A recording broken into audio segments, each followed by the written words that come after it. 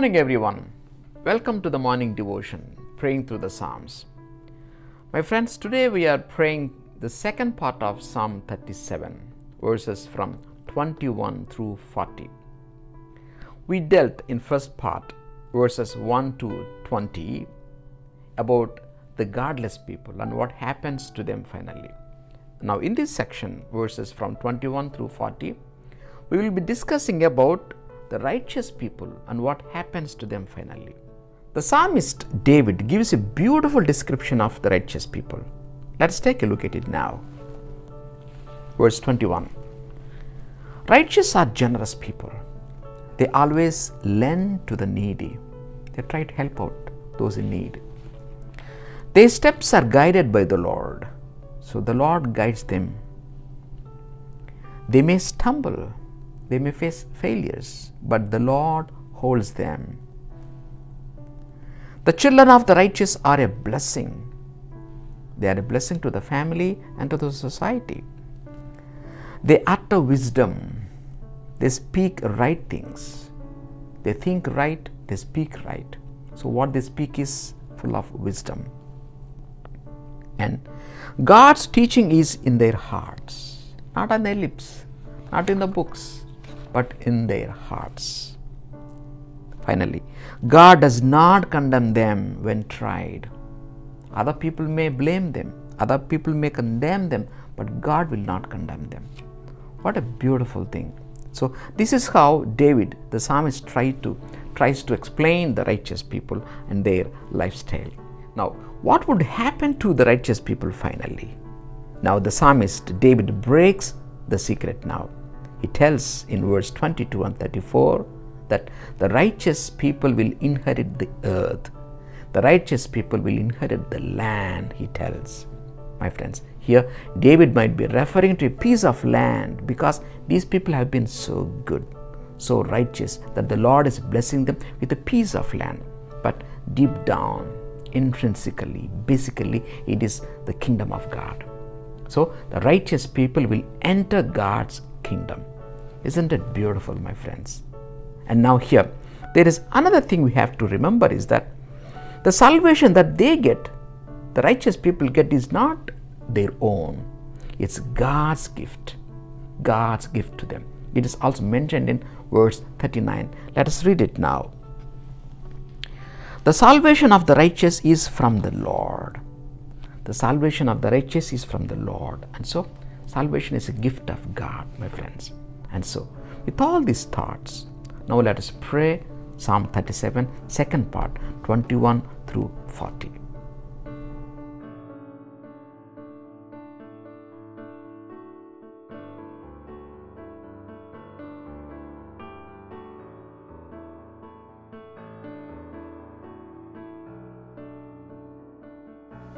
The wicked one borrows but does not repay.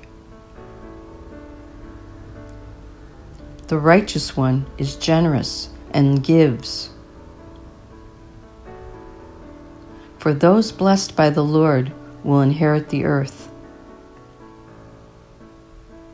But those accursed will be cut off. The valiant one whose steps are guided by the Lord who will delight in his way, may stumble, but he will never fall. For the Lord holds his hand. Neither in my youth nor now in old age have I seen the righteous one abandoned.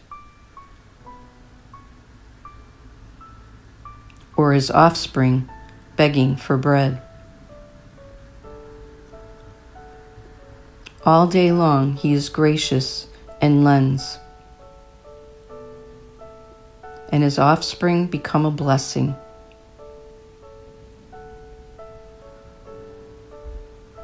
Turn from evil and do good, that you may be settled forever. For the Lord loves justice and does not abandon the faithful.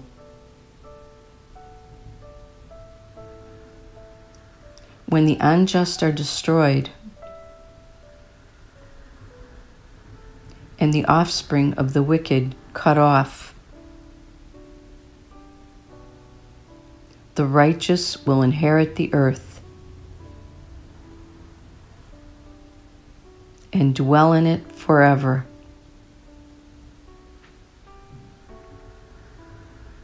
The mouth of the righteous utters wisdom. His tongue speaks what is right. God's teaching is in his heart. His steps do not falter. The wicked spies on the righteous and seeks to kill him. But the Lord does not abandon him in his power,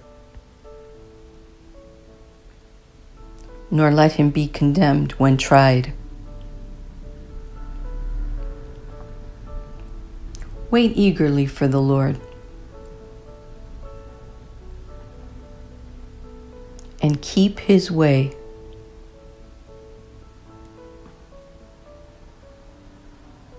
He will raise you up to inherit the earth. You will see when the wicked are cut off. I have seen a ruthless scoundrel spreading out like a green cedar. When I passed by again, he was gone. Though I searched, he could not be found. Observe the person of integrity and mark the upright, because there is a future for a man of peace. sinners will be destroyed together. The future of the wicked will be cut off. The salvation of the righteous is from the Lord. Their refuge in a time of distress. The Lord helps and rescues them. rescues and saves them from the wicked. Because they take refuge in Him.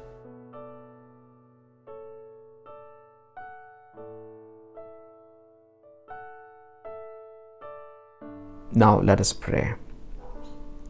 Lord, we thank you for the many blessings. Thank you, Lord, for the gift of this life. Thank you, Lord, for the gift of this fellowship, time we are able to come together, praise and thank and adore you. Thank you, Lord. Thank you for this great opportunity.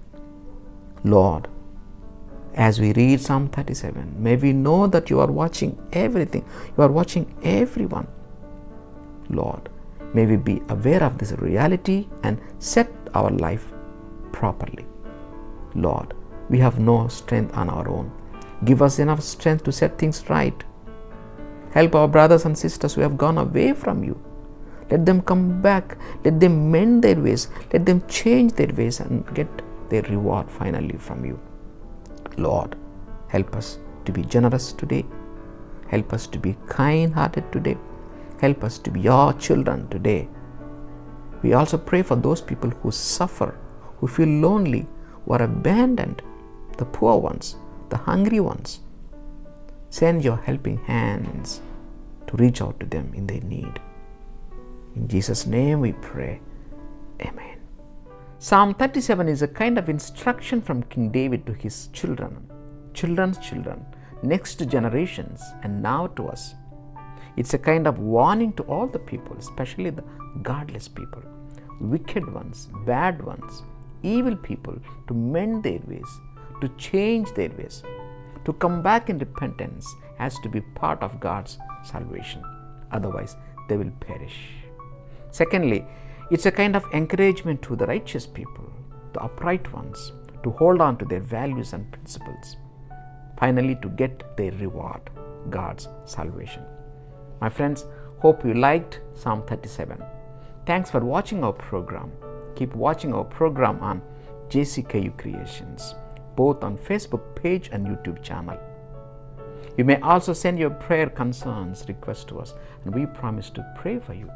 You may reach us at Jesus Christ King of Universe 777 at gmail.com.